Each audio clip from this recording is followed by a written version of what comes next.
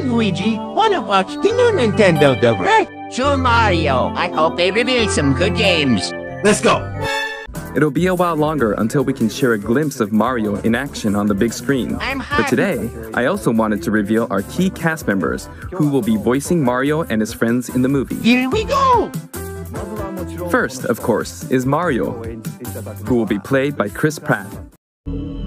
Don't worry, Mario. It's definitely a joke. Mario's little brother, Luigi, will be played by Charlie Day. Come on. Why, Mario, what did you think of the direct? Absolute garbage.